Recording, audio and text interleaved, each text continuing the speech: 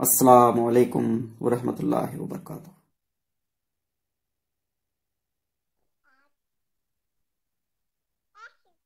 MD Abdur Rahman আপনাকে যুক্ত করে থাকলে যুক্ত হন? হ্যালো? হ্যালো? হ্যাঁ এমডি আব্দুর রহমান শুনতে পাচ্ছেন? হ্যাঁ কেমন আছেন?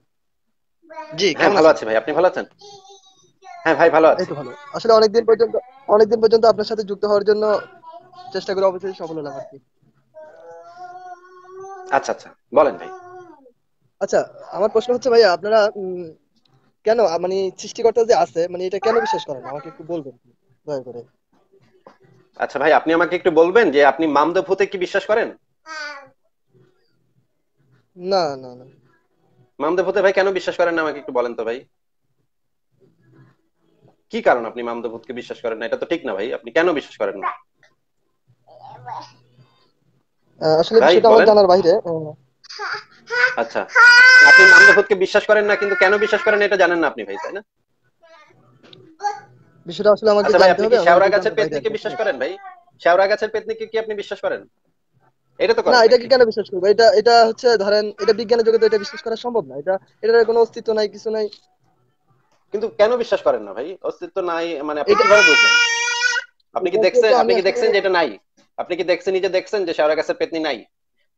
আমি তো দেখি নাই কখনো দেখি নাই তাহলে এটা বিশ্বাস করব কেন কেন করেন না ভাই? এটা তো ঠিক না ভাই। আপনি শেওড়া গাছের পেতনিকে আমি বিশ্বাস করেন না মামদো ভূতকে বিশ্বাস করেন না এটা তো ঠিক না ভাই। কেন করেন না? আমি তো বুঝলাম না দেখি নাই কখনো। আচ্ছা শুনেন। দেখেন না আপনি তো বাতাসও দেখেন নাই ভাই। আপনি তো বাতাসও দেখেন নাই তাহলে কি আপনি বাতাস বিশ্বাস করেন না? আপনি তো বাতাস বাতাস কিন্তু আমি অনুভব করতে পারি। বাতাস আমি অনুভব করতে পারি অনুভব করতে পারেন কিন্তু দেখতে তো আপনি তো বলছেন একটু আগে দেখতে দেখতে পাই না। মামদপুর দেখতে পাই না শাকচুনি দেখতে পাই না। এখন তো আপনি আবার বলতেছেন অনুভবের কথা। এখন আমি যদি আমি আমার সৃষ্টিকর্তা আছে এটা যদি আমি তো অনুভব করতে পারি কিন্তু আপনি ওই আমি যাইনি এখনও ভাই। সৃষ্টিকর্তার এখনও যাইনি আচ্ছা, তো ভাই। আমি আচ্ছা, আপনাকে জাস্ট প্রশ্ন করেছি আপনি মামদবুত শাকচুনি আচ্ছা, আর ঘোড়ার ডিম এই তিনটাকে কেন বিশ্বাস করেন না? এটা আপনি আগে আমাকে- আগে বুঝায় বলেন। তারপর আমরা সৃষ্টিকর্তাতে যাব তো সমস্যা নাই একটু পরে যাচ্ছি। আগে এটা একটু ডিসকাশন হয়ে আচ্ছা, যাক যে ঘোড়ার ডিম শাকচুন্নি মামদভূত এই তিনটাকে আপনি কেন বিশ্বাস করেন না? আপনি কি শিওর যে তিনটা নাই? হ্যাঁ এই দিনটা না এটা তো হচ্ছে ধরেন ঐতিগত একটা প্রথা আর কি। এটা প্রথা হয়তো আমাদের ওই যে অতীতে আমাদের উত্তরসূরিরা বলে আসছে ওই হিসাবে আমরা হয়তো এটা বিশ্বাস অনেকেই বিশ্বাস করে কিন্তু আমরা তো এখন আর বিশ্বাস করি না এগুলো বিজ্ঞান প্রযুক্তিতে। কেন করেন ভাই? আপনার আপনি কেন করবেন না? আপনি কেন করবেন না? ঘোড়া তো কখনোই ডিম পারতে পারে না ভাইয়া। সেটা ঠিক আছে কিন্তু আপনি বিশ্বাস করবেন না কেন? ঘোড়া ডিম পারতে পারে না এটা তো আপনি যুক্তির কথা বললেন ভাই। এটা তো যুক্তির কথা বললেন বিশ্বাসের কথা তো বললেন না ভাই। না এখন আমি আমি এটা যুক্তির কি কথা নাকি? আচ্ছা আচ্ছা ঠিক আছে আমি বুঝতে পারতেছি আমি বুঝতে পারতেছি যে আপনি এই জিনিসগুলোকে বিশ্বাস করেন না কারণ প্রমাণের অভাব তাই না? এই হ্যাঁ, জিনিসগুলোর হ্যাঁ, পক্ষে যথেষ্ট তথ্য প্রমাণ নাই তাই না? ধরেন বৈজ্ঞানিক তথ্য প্রমাণ থাকতে পারে যৌক্তিক তথ্য প্রমাণ থাকতে পারে কিন্তু এই জিনিসগুলো কোনো হ্যাঁ। প্রমাণ নাই প্রমাণের অভাবে আপনি এই জিনিসগুলো বিশ্বাস করেন না তাই তো? হ্যাঁ হ্যাঁ। আচ্ছা ঠিক একই ভাবে আপনি যেই পথ- যেই প্রসিডিওরে চিন্তা ভাবনা করে দেখেছেন যে এই জিনিসগুলোর প্রমাণ নাই। তাহলে আমরা এই জিনিসগুলো বিশ্বাস করব না কারণ এই জিনিসগুলো তো প্রমাণিত জিনিস না। ঠিক একই যুক্তিতে ভাই নাস্তিকরা ঈশ্বরের অস্তিত্বে বিশ্বাস করে না বা সৃষ্টিকর্তার অস্তিত্বে বিশ্বাস করে না। কারণ হচ্ছে কোনো প্রমাণ নাই ভাই। এখন আপনার কাছে যদি আচ্ছা। ঈশ্বর বা সৃষ্টিকর্তার কোনো প্রমাণ থাকে তাহলে আপনি আমাকে দিতে পারেন। আমি সেই প্রমাণটা একটু টেস্ট করে দেখব। যে প্রমাণটা ঠিক আছে নাকি? যদি আপনি মনে করেন যে আমি যদি দেখি যে হ্যাঁ আপনি একদম ভালো প্রমাণ দিয়েছেন একদম খুবই যৌক্তিক প্রমাণ দিয়েছেন তাহলে তো ভাই আমাদের কোনো সমস্যা নেই বিশ্বাস করতে। কিন্তু ভাই প্রমাণ প্রমাণ আচ্ছা। ছাড়া আমরা কীভাবে বিশ্বাস করব বলেন? আচ্ছা শুনেন আপনি আপনাকে যদি আমি বলি প্রমাণ ছাড়া আপনাকে ঘোড়ার ডিম বিশ্বাস করতে হবে তাহলে তো আপনি বিশ্বাস করবেন না ভাই। সেটা তো অবশ্যই যদি আমি বলি আপনি আমার- ঘোড়ার ডিম বিশ্বাস করলে আপনাকে বেহেস্তে বাহাত্তরটা মানে ক্যাটরিনা কাইফের মতো সুন্দরী মেয়ে দেওয়া হবে আপনি যদি ঘোড়ার ডিম বিশ্বাস করেন তাহলে। এই লোভে কি আর আপনি ঘোড়ার ডিমে বিশ্বাস করবেন ভাই? বা আপনি আমি যদি বলি ঘোড়ার ডিম বিশ্বাস না করলে আচ্ছা, আপনাকে দোজকে নিয়ে ভাইয়া? মায়ের পিট করা হবে। কড়া ভাবে মায়ের পিট করা হবে আগুনে ফ্রাই করা হবে সাপে এসে আপনাকে কামড়াবে। যদি ঘোড়ার ডিমে বিশ্বাস না করেন তাহলে। কারণ এই সমস্ত কথা বলে কি ভাই ঘোড়ার ডিমের অস্তিত্ব প্রমাণ হয় বলেন? এই ধরনের ভয়ভীতি দেখায় বা লোভ দেখায় বাহাত্তরটা সেক্সি সেক্সি নারী হুর দিব আপনাকে আমি। এগুলা বলে যদি আমি আপনাকে মানে কনভিন্স করতে চাই যে এই বিশ্বাস করেন তাহলে আপনাকে এগুলো আমরা দিব। আর যদি বিশ্বাস না করেন তাহলে আপনাকে মানে দোজকে নিয়ে মারপিট করব। এগুলা বলে তো ভাই ঘোড়ার ডিমের অস্তিত্ব প্রমাণ হয় না। ঠিক আচ্ছা আমাকে একটু বলতে দেন। আপনার আপনাদের যে আল্লাহ হ্যাঁ বলতে দিচ্ছি ভাই। আপনাদের যে আল্লাহ সেই আল্লাহরও কোনো অস্তিত্বের প্রমাণ নেই ভাই। কিন্তু দেখা যাচ্ছে যে ইসলাম আমাদেরকে বলতেছে বিশ্বাস করলে বাহাত্তরটা হুর পুরি দিবে বেহেস্তে আর বিশ্বাস না করলে দোজকে নিয়ে মারপিট করবে। ভাই এগুলা কেমন কথা ভাই? বিশ্বাস মানে প্রমাণ না দিয়েই বিশ্বাস করতে হবে তারপরে আবার মানে এগুলা বিশ্বাস করলে বেহেস্তে এটা দিবে আর না করলে মারপিট করবে এগুলা কেমন কথা? আপনি কি আমাদের ধর্মীয় গ্রন্থটা আমাদের ধর্মীয় গ্রন্থ কোরআন শরীফ আপনি কি সম্পূর্ণটা মানে একদম ব্যাখ্যা সহ কি পড়েছেন যে ওখানে কোনো সৃষ্টিকর্তার কোনো অস্তিত্ব অথবা মানে সৃষ্টিকর্তা আছে এমন কিছু পাননি? ভাই, আমি আপনাকে এই বিষয়ে গ্যারান্টি দিতে পারি যে আমি বাংলাদেশের অনেক আলেম ওলামার থেকে কোরআন এবং হাদিস বেশি পড়েছি এবং তাফসির বেশি পড়েছি। এই বিষয়ে আমি আপনাকে গ্যারান্টি এবং চ্যালেঞ্জ দিতে পারি। এবং পৃথিবী বাংলাদেশের যে কোনো ইসলামিক স্কলারকে আমি আলোচনার জন্য নিমন্ত্রণ জানিয়েছি। অনেক ইসলামিক স্কলার ভয় পায় আমার সাথে কথা বলতে। কারণ আমি এমন এমন হাদিস তাদেরকে বলব যে হাদিস শুনলে তাদের লুঙ্গির গিট্টু খোলা যাবে। ঠিক আছে? আচ্ছা আমার হ্যাঁ, আমার এবং একটা কথা এবং এবং শুধু কোরআন শুধু কোরআন তো কোরআন তো কোরআনই। কোরআনের যে কয়টা তাফসির আছে সেই কয়টা তাফসিরের ভিতরে বেশিরভাগ আমার পড়া ভাই। এবং যে কয়টা হাদিস আছে হাজার হাজার হাজার হাজার হাদিস আছে। হাজার হাজার হাদিসের ভিতরে বেশিরভাগ হাদিস আমার পড়া। শুধু তাই না হাদিসের ব্যাখ্যা গুলা পর্যন্ত আমার পড়া। নবী মোহাম্মদের জীবনী পর্যন্ত আমার পড়া। অনেকগুলা জীবনী আমার পড়া। তো আপনি যে কোনো ইসলামিক স্কলারকে নিয়ে আসেন আমি তার সাথে কথা বলতে পারি ভাই। আচ্ছা যে কোনো আচ্ছা মানুষ আচ্ছা বাংলাদেশের আমি একটা কথা বলি। বাংলাদেশে সর্বোচ্চ তাপমাত্রার ডিগ্রি কত সেলসিয়াস হতে পারে? কত সেলসিয়াস হলে মানুষ মানে স্বাভাবিকভাবে জীবনযাপন করতে পারে? বলেন তো ভাইয়া। কত? ছত্রিশ তিরিশ চল্লিশ এরকম হতে পারে? এরকম হতে পারে। যদি যদি পঞ্চান্ন হয় তাহলে তো বাংলাদেশের অবস্থা অনেকটা শোচনীয় হবে। হ্যাঁ তা তো হবে। আচ্ছা তাহলে একটা বাচ্চা কীভাবে মায়ের গর্ভে আটানব্বই ডিগ্রি সেলসিয়াস পর্যন্ত তাপমাত্রা থাকে ওখানে? আরও বেশিও থাকে। তাহলে কীভাবে ওখানে থাকে? আমাকে বলেন এটা এটার ভিতরে যদি কোনো কারও হাত না থাকে তাহলে এটা কীভাবে সম্ভব? আচ্ছা এটা খুবই চমৎকার ব্যাখ্যা বিবর্তন তত্ত্বের ভিতরে আছে ভাই। যে বিবর্তন তত্ত্ব হচ্ছে মানুষের প্রজন্মের বিস্তার হচ্ছে গিয়ে খুবই একটা ব্যয়বহুল প্রক্রিয়া। ব্যয়বহুল প্রক্রিয়া মানে আপনি বোঝেন ভাই? মানে হচ্ছে গিয়ে অপচয় হয় এখানে প্রচুর পরিমাণে অপচয় হয়। যেমন ধরেন আপনি একজন পুরুষ মানুষ আপনার আহ, মানে আমরা আমি মানে একটু লেম্যান ভাষায় বলতেছি আপনি কিছু মনে করেন না। লেম্যান ভাষায় আমি কথা বলতেছি ঠিক আছে? তাই তো ঠিক আছে তো? যেমন ধরেন আপনার যে অন্ডকোষ আপনার অন্ডকোষে বীর্য উৎপন্ন হয় তাই না? বীর্য উৎপন্ন হয় তো তাই না? এখন আপনার অন্ডকোষটা যদি একদম শরীরের সাথে লেগে থাকে তাহলে শরীরের যে তাপমাত্রা শরীরের যে টেম্পারেচার শরীরের রক্ত যে প্রবাহিত হয় সেই রক্তের যে টেম্পারেচার সেই টেম্পারেচারের কারণে বীর্যের ভিতরে অনেক বীর্য নষ্ট হয়ে যায় মারা যায়। অনেক স্পার্ম মারা যায় ঠিক আছে? আবার অনেকগুলো টিকে হ্যাঁ। থাকে। ঠিক আছে? কিন্তু অন্ডকোষটা যদি একটু নিচের দিকে থাকে তাহলে এবং একটু যদি ঠান্ডা তাপমাত্রার ভিতরে থাকে তাহলে সেটা খুব সুন্দর সার্ভাইভ করতে পারে। এন্ড আপনার অন্ডকোষের ভিতরে কয়েক কোটি স্পার্ম থাকে। সেই কয়েক কোটি স্পার্মের ভিতরে একটা স্পার্ম মাত্র আপনার ওয়াইফের বা আপনার সঙ্গিনীর গর্ভে জরায়ুর ভিতরে ঢুকে ওইখানে ডিম ডিম্বাণুতে প্রবেশ করতে পারে। হ্যাঁ। এই কোটি কোটি বীর্যের ভিতরে একটা স্পার্ম ছোট একটা স্পার্ম সেখানে ঢুকতে পারে। ঠিক আছে? এটা হচ্ছে প্রচণ্ড ব্যয়বহুল প্রক্রিয়া। এইখানে নানা ধরনের সমস্যা ঘটে। সমস্যার ভিতরে ধরেন এক লাখ মারা গেল গরমে। এক লাখ মারা গেল রাস্তা একশো কোটি মারা গেল হচ্ছে কি রাস্তায় দৌড়াইতে দৌড়াইতে। হম? একশো কোটি মারা গেল এইদিকে একশো কোটি মারা গেল সেই দিকে এভাবে কোটি কোটি স্পার্ম মারা যেতে যেতে একটা গিয়ে পৌঁছায় একটা গিয়ে যদি পৌঁছায় সেই পর্যন্ত তাহলে সেইটা একটা বাচ্চা তৈরি করতে পারে। ঠিক আছে? হ্যাঁ মানুষের মানুষের টোটাল বিবর্তনের প্রক্রিয়াটা এইভাবে হয়েছে ভাই। এবং এইখানে প্রচুর পরিমাণে মানুষ মারা গেছে প্রচুর পরিমাণে ব্যয় হয়েছে অপচয় হয়েছে। অনেক সন্তানের টেম্পারেচার ছিল কম এই জন্য তারা মারা গেছে। অনেক সন্তানের টেম্পারেচার ছিল বেশি এই জন্য তারা মারা গেছে। কিন্তু যারা সার্ভাইভ করেছে তারা তাদের ডিএনএ এর ভিতরে সার্ভাইভ করার যে ক্ষমতাটা সেই ক্ষমতাটা প্রাপ্ত হয়। এটা কি আপনি ভাই আচ্ছা। বুঝতে পেরেছেন নাকি? এটা একটু ব্যাখ্যা করে বলব হ্যাঁ হ্যাঁ। না না বুঝতে পারছি। যারা আচ্ছা সার্ভাইভ করে আপ- যারা সার্ভাইভ করে হ্যাঁ হ্যাঁ। তাদের ডিএনএ এর ভিতরে একটু শেষ করে নেই ভাই প্রশ্নটার উত্তরটা শেষ করে নেই। যারা সার্ভাইভ করে তাদের ডিএনএ এর ভিতরে সেই মেমোরিটা সেভ থাকে যে আমি কীভাবে সার্ভাইভ করেছি আমি কোন পদ্ধতিতে সার্ভাইভ করেছি। সেই ডিএনএটা পরবর্তী প্রজন্মে ট্রান্সফার হয়। ঠিক আছে? যেমন ধরেন আচ্ছা। যেমন ধরেন একটা বাচ্চা যদি মানে সুস্থ সবল হয় সে সে একটা পরিবেশে টিকে থাকা তার জন্য সুবিধাজনক হয়।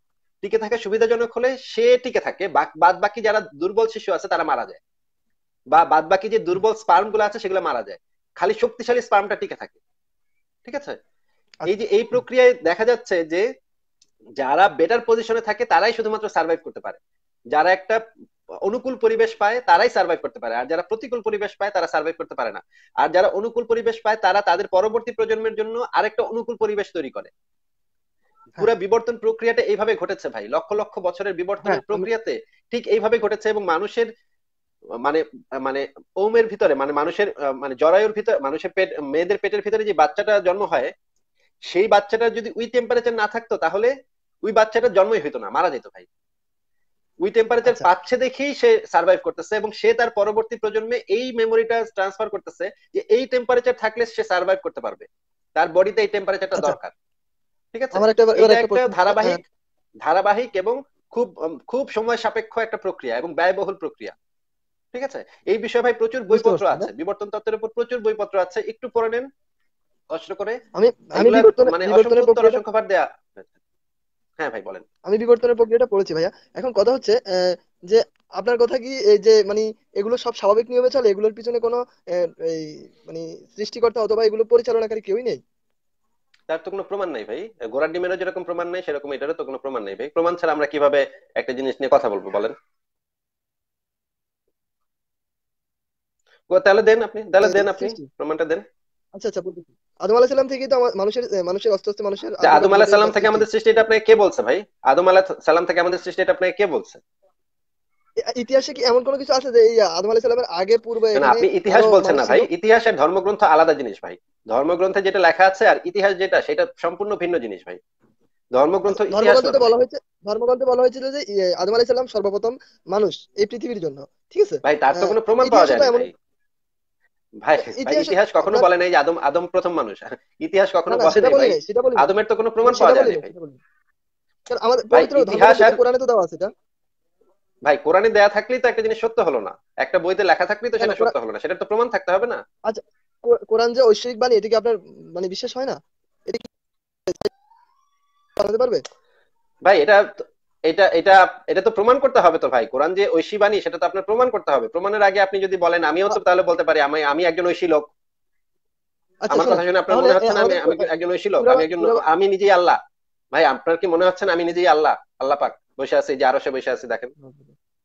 আচ্ছা শুনেন আপনার আমার সুরা বাকারা সুরা বাকারাতে তো উল্লেখ আছে যে যদি তোমাদের এই ব্যাপার এই কিতাবের প্রতি ভাই সুরা বাকারাতে যেটাই উল্লেখ থাক ভাই সুরা বাকারাতে উল্লেখ থাকলেই তো একটা জিনিস সত্য হয় না। ভাই একটা বইতে লেখা থাকলেই তো একটা জিনিস সত্য হয় না রে ভাই। শুনুন তাহলে তো বাইবেলে তো আরেক জিনিস লেখা আছে গীতা মানে ভগবত গীতায় তো বেদে তো আরেক জিনিস লেখা আছে। ওই তখন তো আরেকজন আচ্ছা, বলতে পারে যে বেদে এটা লেখা আছে তার মানে এটা সত্য। আচ্ছা এই পনেরো শতকের মধ্যে রাসূল আলাইহি সাল্লামের আবির্ভাব ঘটার পর এই পনেরো শতকের মধ্যে কি কেউ পেরেছে এরকম এরকম আরেকটা ঐশীবাণী বা এরকম একটা কোরআন শরীফ তৈরি করে দিতে? যদি এটা মানে মানুষের বানানো তৈরি আপনি কি পারবেন ভাই? আপনি কি পারবেন ভাই একটা রবীন্দ্রসঙ্গীত রচনা করতে পারবেন? একটা রবীন্দ্রসঙ্গীত আপনি রচনা করতে পারবেন? না হলেও তো রবীন্দ্রনাথ আমি রবীন্দ্রসঙ্গীত না হলেও তো রবীন্দ্রনাথের কাছাকাছি তো যেতে পারব। বা রবীন্দ্রনাথের চেয়ে আরও আপডেট তো করতে পারব। রবীন্দ্রনাথের কাছাকাছি গেলে তো হবে না ভাই। রবীন্দ্রনাথের কাছাকাছি গেলে তো হবে না। রবীন্দ্রসঙ্গীত রচনা করতে পারবেন কিনা? আপনাকে আমি জিজ্ঞেস করেছি যে আপনি একটা রবীন্দ্রসঙ্গীত বা একটা নজরুল গীতি আপনি লিখতে পারবেন কিনা? ভাই আপনি লিখলে তো সেটা রবীন্দ্রসঙ্গীত হবে না। আপনি লিখলে হবে আপনার নামটা কি? আব্দুর রহমান। আব্দুর রহমান সংগীত হবে সেটা। সেটা ঠিক আছে। আপনি যদি একটা গান লেখেন তাহলে সেটা হবে আব্দুর রহমান সংগীত। সেটা তো রবীন্দ্রসঙ্গীত হইতে পারবে না ভাই। আপনি যতই চেষ্টা করেন না কেন সেটা তো কখনো রবীন্দ্রসঙ্গীত হবে না ভাই। সেটা তো হবে না কখনো রবীন্দ্রসঙ্গীত হবে? তাহলে না, না, তাহলে আপনি লিখলে ওইটার নাম দিতে পারি আমরা আব্দুর রহমান সংগীত। বা আব্দুর রহমান গীতি নাম দিতে পারি। কিন্তু হ্যাঁ। আপনি আপনি তো রবীন্দ্রসঙ্গীত লিখতেই পারবেন না কারণ আপনি তো রবীন্দ্রনাথ না ভাই। আপনি আচ্ছা। বলতেছেন কোরআনের মতো কি একটা কিছু লিখতে পারছে কেউ? কোরআনের মতো লিখলে তো সেটা কোরআন হয়ে যাবে ভাই। কোরআনের মতো যদি আমি লিখি একটা কিছু তাহলে তো সেটা কোরআন হয়ে গেল। নাকি ভাই? তো কোরআনের মতো আপনি কি বোঝাচ্ছেন? কোরআনের মতো কোরআনের মতো বোঝান যে কোরআন হ্যাঁ। যদি আমি বলতে চাইছি যদি এটা মানুষের গ্রন্থ বানানো গ্রন্থ হতো তাহলে এরকম একটা গ্রন্থ কেউ বানিয়ে মতো দেখাক বলতে আপনি কি বোঝাচ্ছেন? সেটা তো বলেন ভাই। কোরআনের মতো বলতে মানে কোরআনের কোন দিকটার মতো? মানে কোরআনে কি ছন্দেরটা মিল থাকতে হবে? না না সম্পূর্ণ কোরআন যেভাবে ছন্দে হয়ে গেল। বানাই সেম একটা কোরআন লিখলে তো কোরআন হয়ে গেল ভাই। ভাই সেম একটা আচ্ছা, কোরআন লিখলে তো হাতে যদি আমি কোরআনটা লিখি তাহলে তো সেটা কোরআন হয়ে গেল। সেটা কি আর আচ্ছা, সেটা কি আমার লেখা কিতাব বলবেন আপনি? না না সেটা ঠিক আছে। এখন আপনি আপনি বলছেন এটা এটা হচ্ছে মানুষের তৈরি। ঠিক আছে আমি মানলাম। আপনি তো জানেন রাসূল সাল্লাল্লাহু আলাইহি তখন কোনো ইউনিভার্সিটি না, অথবা কোনো স্কলার না না মানুষের তৈরি মানুষের তৈরি আপনি আপনি আপনি আমার কথা কেন মানতে হবে আপনার? আমার কথা আপনার কেন মানতে হবে? আপনি যদি দাবি করেন যে এটা ঐশী কেতাব বা ঈশ্বর থেকে প্রেরিত কেতাব তাহলে তো আপনার সেটা প্রমাণ করতে হ্যাঁ। হবে ভাই। না হলে তো আমি দাবি করতে পারি যে আমি তো দাবি করতে পারি ভাই। কালকে রাত্রে আল্লাহ পাক পাতলা পায়খানা হয়ে মারা গেছে ভাই। এটা তো আমি দাবি করতে পারি। এটা তো দাবি করলেই তো এটা প্রমাণিত হইল না ভাই। এটা তো একটা দাবি মাত্র। প্রমাণিত না। প্রমাণিত আচ্ছা, তো হইল না। প্রমাণ হওয়া তো অভিন্ন জিনিস না। এখন আচ্ছা, আপনার কেতাবে লেখা আছে তাই এটা সত্য। ভাই আপনার কেতাবে লেখা আছে তাই এটা সত্য। এটা তো এটা তো কোনো কথা হইল না ভাই। আর আপনি যে চ্যালেঞ্জটা দিলেন যে কোরআনের মতো করে একটা লেখা দেখান তো কোরআনের মতো একটা লিখলে তো এটা কোরআন হয়ে যাবে। তাহলে আপনি পার্থক্য করবেন কীভাবে? যে এটা কোরআন নাকি এটা কোরআন মানে এটা আসিফের লেখা কোরআন নাকি এটা মানে মোহাম্মদের লেখা কোরআন এটা আপনি পার্থক্য করবেন কীভাবে? আমি যদি কোরআনের মতো দেখে দেখে একটা লিখি তাহলে কেমনে হবে ভাই? দেখে দেখে তো আপনাকে সেমটাই লিখতে বলি নাই মানে এটা সাদৃশ্যতা। এটার সাথে সাদৃশ্যতা মিল রেখে সেম কাব্যে? গ্রন্থে কোন জিনিসটা সাদৃশ্য? যেমন ধরেন যেমন ধরেন আমি বললাম হে আব্দুর রহমান তুমি কি পারো আমার মতো একটা কবিতা রচনা করতে? আমি যদি এই কথাটা আপনাকে বলি হ্যাঁ বা আমি যদি আপনাকে বলি হে আব্দুর রহমান তুমি আমার কোন অবদানকে অস্বীকার করবে? তুমি কি জানো না আমি এই যে ফেসবুকে লাইভ করি? তাহলে তুমি আমার কোন অবদানকে অস্বীকার করবে?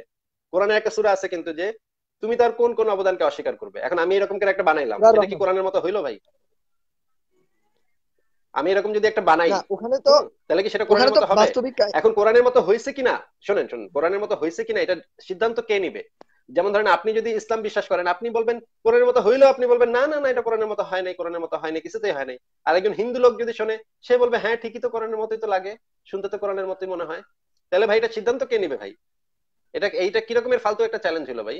আপনি কি পারবেন রবীন্দ্রনাথের মতো একটা গান লেখা দেখাতে রবীন্দ্রনাথের মতো গান লেখা দেখাতে না পারলে আপনার বিশ্বাস করতে হবে রবীন্দ্রনাথ হচ্ছে কি আল্লাহ নবী। এখানে কথা হচ্ছে কি? আমি যদি আপনাকে বলি আমি চাইলে শোনেন ভাই শোনেন ভাই শোনেন ভাই আমি যদি আপনাকে চ্যালেঞ্জ দিই যে আপনি রবীন্দ্রসঙ্গীত একটা লেখা দেখান যদি লেখা দেখাতে না পারেন তাহলে আপনার মানতে হবে যে রবীন্দ্রনাথ হচ্ছে আল্লাহ পাক।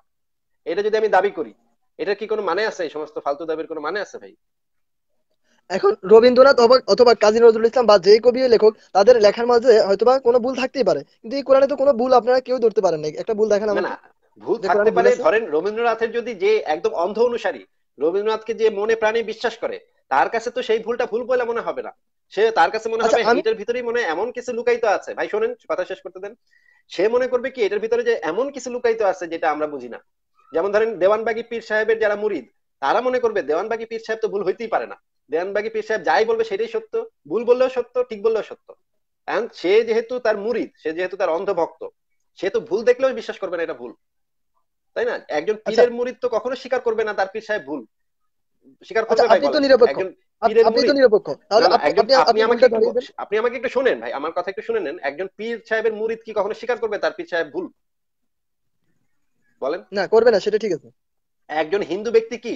যে মনে প্রাণে হিন্দু ধর্মে বিশ্বাস করে সে কি বিশ্বাস করবে? তাদের বেদে ভুল লেখা আছে এটা কি বিশ্বাস করবে কেউ? কোন হিন্দু? না। যে যে একজন ধর্মপ্রাণ খ্রিস্টান সেও তো বিশ্বাস করবে না যে তাদের বাইবেলে ভুল লেখা আছে। এটা তো বিশ্বাস করবে না। সেরকম আপনিও একজন মুসলমান আপনি তো বিশ্বাস করবেন না যে কোরআনে ভুল লেখা আছে। কিন্তু আপনি ভুল আচ্ছা, লেখা আছে শুদ্ধ লেখা আছে সেটা জানার জন্য তো আপনার কোরআনটা পড়তে হবে। আপনি কি ভাই কোরআনটা পড়ছেন কোনোদিন? বাংলায় পড়ছেন হ্যাঁ আমার কোরআন? আছে। তাহলে আপনাকে আমার একটু পরীক্ষা নিই ভাই একটু পরীক্ষা নিই ভাই। আমি ভাই একটু পরীক্ষা নিই। বলেন। বলেন। ভাই আপনি মানে আপনি যদি অনুগ্রহ করে আমাকে একটু বলেন যে আপনার আপনি কোন বিষয়ে পড়ালেখা করতেছেন বা করেছেন সেটা তাহলে আমার প্রশ্নটা করতে একটু সুবিধা হয় আর কি। আমি মানবিক বিভাগ থেকে পড়তেছি আর কি। সোশিয়াল সায়েন্স মানবিক সাবজেক্টে বিভাগ অনার্স করতেছি। আচ্ছা মেট্রিক ইন্টারে কি আপনার সায়েন্স কি ছিল কখনো? মেট্রিকে সায়েন্স ছিল ইন্টারে হচ্ছে মানবিক। মেট্রিকে সায়েন্স আচ্ছা, ইন্টারে মানবিক অনেক ধন্যবাদ। আপনি কি ভাই- তাহলে তো ভাই আপনার বেসিক আইডিয়া গুলো আছে এটা খুবই ভালো ব্যাপার। তাহলে কি ভাই আপনি আমাকে বলতে পারেন যে আহ, পৃথিবী আগে সৃষ্টি হয়েছে নাকি মহাবিশ্ব আগে সৃষ্টি হয়েছে? মানে মহাবিশ্বের বয়স কত এটা কি আপনি আমাকে বলতে পারবেন? মহাবিশ্ব কত বছর আগে উদ্ভব হয়েছে? মহাবিশ্ব তেরো দশমিক সাত বিলিয়ন বছর আগে উদ্ভব হয়েছে। হ্যাঁ এটা আপনি গুগল করে পরে দেখে আচ্ছা। নিন হ্যাঁ। আর পৃথিবী আচ্ছা, নামক গ্রহটার বয়স হচ্ছে গিয়ে চার দশমিক পাঁচ বিলিয়ন বছর। একটু গুগল করে পরে দেখে নিন ঠিক আছে? আচ্ছা ঠিক আছে। সমস্যা নেই এখন দেখতে হবে না আপনি পরে দেখে নিন আমার কথা ক্রস চেক করে দেখেন। করছি। আমাকে কোরআনের একচল্লিশ নম্বর সুরার হ্যাঁ হ্যাঁ নোট করে রাখেন। ভিডিও তো থাকবে ভিডিওতে আপনি আবার পরে দেখে নিতে পারেন যে এটা ঠিক আছে নাকি আমার কথা ঠিক আছে নাকি। মহাবিশ্বের বয়স হচ্ছে তেরো দশমিক সাত বিলিয়ন বছর আর পৃথিবীর বয়স হচ্ছে পৃথিবী নামক গ্রহটার বয়স হচ্ছে চার দশমিক পাঁচ বিলিয়ন বছর। ঠিক আছে? এটা আপনি নোট করে রাখেন পরে আপনি গুগলে সার্চ করে দেখে নিন এখন আপনি ভাই আমাকে আচ্ছা। সুরা বাকারার উনত্রিশ নম্বর আয়াতটা একটু পড়ে শোনাবেন এবং সুরা একচল্লিশের নয় থেকে বারো আয়াতগুলা একটু পড়ে শোনান। সুরা বাকারার? সুরা বাকারের প্রথমে সুরা বাকারের 29 নম্বর আয়াতটা পড়ে শুনুন। একটু ওয়েট করেন।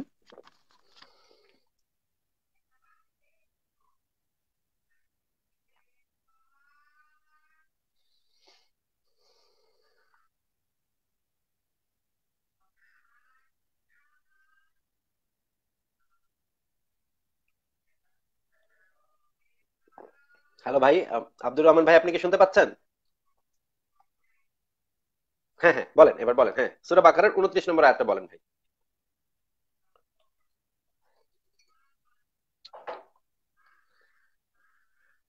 হ্যাঁ ভাই আব্দুর রহমান ভাই আপনি আপনার ভিডিওটা আবার হ্যাং হয়ে গেছে ভাই। হ্যাঁ ভাই আবার আবার একটু বলেন আমি শুনি নাই। এই সূরাটা 29 নম্বর তিনি আয়াতটা সেই মহান হ্যাঁ সত্তা। বলেন। হ্যাঁ হ্যাঁ তিনি তিনি সেই মহান সত্তা ওয়াল্লাযী খলাকা লাকুম আরদে জামিয়া। অর্থাৎ তিনি সেই মহান সত্তা স্তাওয়া ইলাস সামাই ফাসাওয়াহুন্না সুবআস সামাওয়াতি ওয়া হুয়া বিকুল্লি শাইইন আলিম। অর্থাৎ তিনি যিনি এই পৃথিবীর সবকিছু তোমাদের জন্য তৈরি করেছেন অতঃপর তিনি আসমানের দিকে মনোনিবেশ করলেন এবং অতঃপর তাতে সাত আসমান অতঃপর অতঃপর অতঃপর ভাই ভাই পয়েন্ট টু বি নোটেড অতঃপর বলেছেন আপনি। অতঃপর হ্যাঁ। নভমণ্ডলের দিকে মনোনিবেশ করলেন এবং নভমণ্ডলের হ্যাঁ। যাবতীয় বস্তু সৃষ্টি করলেন তাই না? হ্যাঁ। তাই না? প্রথমে হ্যাঁ তার হ্যাঁ মানে প্রথমে ভূমণ্ডলের যাবতীয় বস্তু সৃষ্টি করা হয়েছে। ভূমণ্ডলের যাবতীয় বস্তু সৃষ্টি করা হয়েছে অতঃপর নভমণ্ডলের যাবতীয় বস্তু সৃষ্টি করা হয়েছে। তাহলে ভাই কোনটা আগে সৃষ্টি হ্যাঁ। করা হয়েছে? মাঝখানে কিন্তু একটা অতঃপর আছে। তাহলে কোনটা কোরআন অনুসারে পৃথিবী আগে পৃথিবীতে যাবতীয় বস্তু আগে সৃষ্টি হয়েছে নাকি নভমণ্ডলের যাবতীয় বস্তু আগে সৃষ্টি হয়েছে?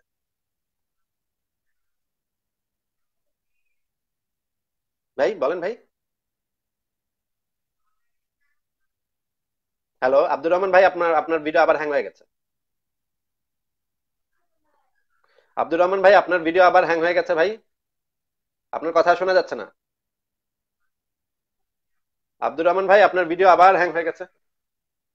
ভাই ভাই, আবার একটু বলেন, আপনার ভিডিওটা